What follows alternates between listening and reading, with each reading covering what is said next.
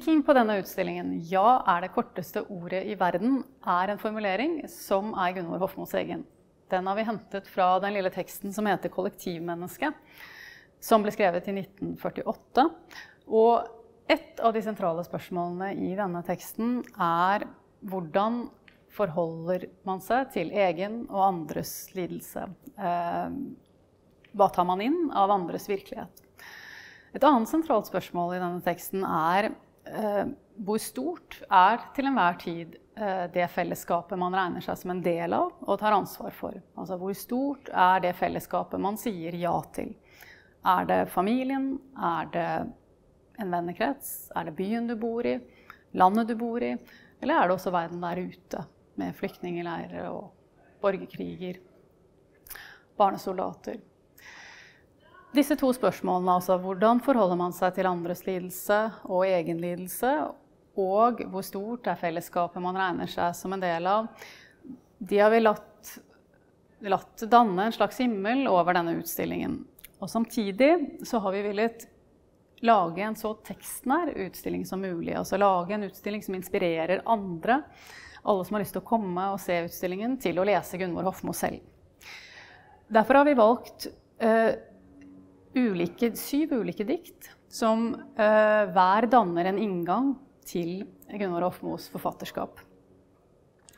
Uh, disse diktene viser på ulike måter til dette med fellesskap og til dette med virkelighet men illustrerer også andre sider ved, ved Gunvor Hofmos forfatterskap. Og en av de sidene vi har hatt lyst til å fremheve, er at hun var en fabelaktig Oslo-dikter. Så i dette første rommet hvor vi befinner oss nå, så har vi valgt et dikt som heter 'Å gå bort'. Det er et dikt hvor hun plasserer diktjeget i et nabolag hun selv, selv kjente godt, rundt Alexander Kiellands plass. Gunvor Hofmo var eh, oppvokst i, i Iladalen, Klaus Ries gate 7. Og i dette diktet så går eh, diktet nedover Maridalsveien, bort Fredensborgveien og ned til Losjen. Å gå bort.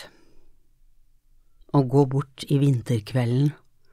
Å gå nedover Maridalsveien, bort Fredensborgveien og ned til Losjen. Og kjenne den støvete lukten som av gamle bøker inngangsbilletten til alle hemmeligheter.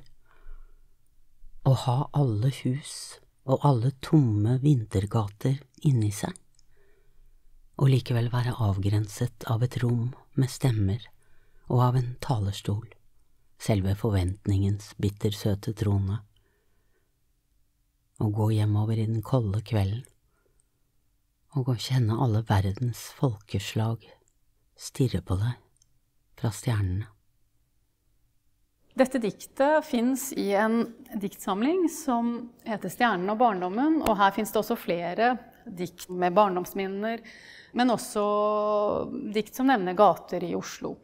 Eh, det finner man også andre steder i forfatterskapet, denne veldig konkrete forankringen og tilknytningen til et sted. Og for ikke snakke om Nordmarkas skoger, som også var viktig for henne. Dette diktet, 'Å gå bort', det foregår eh, en vinterkveld. Og vinteren eh, var også veldig viktig i Gunvor Hofmos eh, forfatterskap og liv. Hun var veldig glad i vinteren. Forfatterskapet åpner med et vinterdikt, og det fins mange vinterdikt eh, i forfatterskapet. Og vi har også funnet fram et eh, brev hun skrev til Tarjei Vesaas etter at hun hadde lest hans diktsamling som heter 'Kjeldene', som kom i 1946, altså samme år som hun selv eh, debuterte som forfatter. Og da skriver hun til Vesaas at et av de diktene hun likte best, det er det som handler om snø og granskog. Så da viser vi eh, førsteutgaven av Vesaas sin bok og eh, brevet fra Hofmo. I tillegg så eh, har vi eh, fått ulike forfattere til å lese inn ulike dikt av eh, Hofmo. Og um, her i dette rommet har vi fått Åsne Linnestå til å lese diktet 'Til vinteren'. Um, og det gjør hun i Iladalen, uh, og snakker litt om sitt eget forhold til Gunnar Hofmos forfatterskap.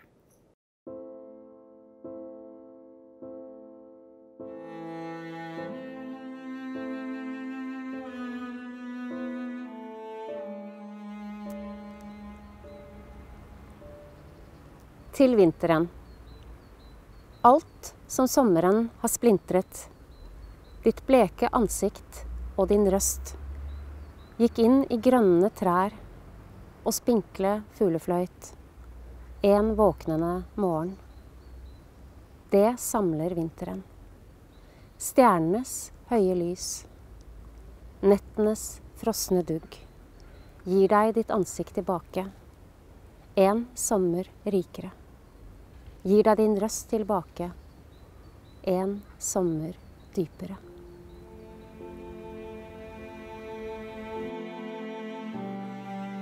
Jeg er veldig glad for å ha fått uh, gjenlest Gunvor Hofmo uh, nå i vinter.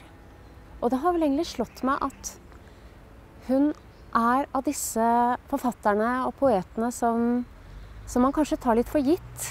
Altså at hun har blitt så hun har blitt så stor, da, og også genierklært på mange måter. Men at det også kanskje gjør at vi, at vi glemmer henne litt. At vi har glemt henne litt bort. Så det var, det var fantastisk å, å, å, sette seg ned og gjenlese henne på ny.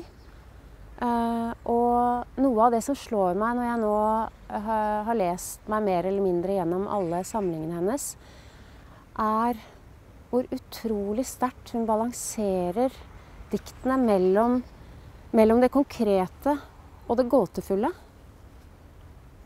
Og hvor tydelig hun gjør årstidene for meg. At, at det er først nå jeg har opplevd at hun er virkelig er årstidenes dikter, da, årstidenes poet. I hver eneste samling så er våren eller høsten eller vinteren eller sommeren eh, viktige nedslagsfelt i diktene hennes. Og, og som noe av det noe, hva skal jeg si da, noe livgivende. Da. Og ikke sånn at vinteren alltid representerer de, de mørke kreftene, og sommeren det lyse. Det er overhodet ikke der. Det er det aldri hos, hos Hofmo, sånn som jeg opplever henne. Eh, og, og, Nei, jeg blir veldig at alt Det er jo et, et veldig mørke der. Mørkets sanger har jo uh, Jan Erik Vold så treffende skildret henne som. Men i dette mørket og i disse understrømmene som ligger der, så er det også en så utrolig sterk kraft da, som kommer gjennom språket og, og, og bildene, og at det lyslegges. Altså at uh, livet også på sitt vis løftes fram da, og det gjør veldig inntrykk å, å, være i dikt som, som, hun skrev, da.